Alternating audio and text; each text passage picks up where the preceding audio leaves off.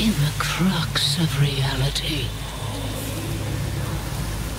there exists two lies. One before the shadow, and one behind the eye.